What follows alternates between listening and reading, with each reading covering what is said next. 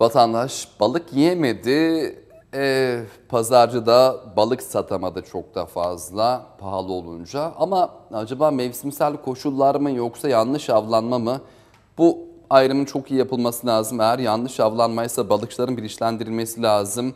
Mevsim koşulları ise yapacak bir şey yok zaten ama önümüzdeki sezona daha hazırlıklı olmamız gerekiyor. Zaten Nisan'ın başı itibariyle de av mevsimi kapanacak. Tekrar Eylül'e kadar yine gerekli e, incelemelerin ve analizlerin yapılması gerekiyor. Türkiye Bankalar Birliği Risk Merkezi bireysel kredi ve kredi kartlarına ilişkin 2018 Ocak ayı raporunu yayınladı. Verilere göre kredi kartı borçlusu 82.600 kişi ve bireysel kredi borçlusu 89.200 kişi yasal takipte.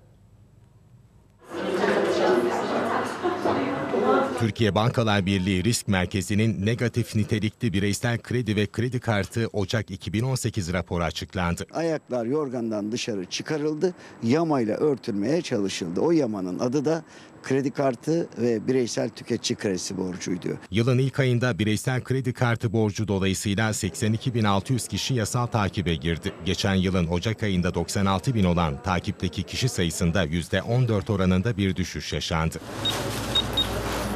Bireysel kredi borcundan dolayı yasal takibe alınan kişi sayısı ise aynı dönemde %20 oranında artarak 89.200 kişi oldu.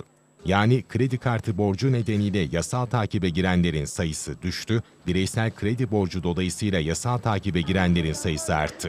Tüketici Başvuru Merkezi Onursal Başkanı Aydın Ağoğlu'na göre bunun nedeni kredi kartı borçlarının kredi çekilerek ödenmesi. Kredi kartı borçları ödenemez noktaya gelince vatandaşlar bunu yapılandırmayı başardı. Tüketici kredisi haline gelen bu yapılandırılmış borçlar da ödenemeyince bugün de tüketici kredilerinde takibe düşen e, borçlu sayısının arttığını görüyoruz ki bunun temel sebebi insanlarımız son yıllarda borçlanarak bütçelerini döndürmeyi bir yaşam şekli haline getirdiler. Peki çözüm ne? Beklentimiz bireysel tüketici ve kredi kartı borçları için bir yapılandırma imkanı getirilmesi. Mutlaka bankaların varlık yönetim şirketlerine devretmeden önce gerçek borçluya ulaşıp varlık yönetim şirketine hedeflediği orandaki fiyattan tüketiciye teklif etmesi sağlanmalı ve bu borçların da sadece ana paralarına borç tarihinden itibaren yasal faiz eklenmek suretiyle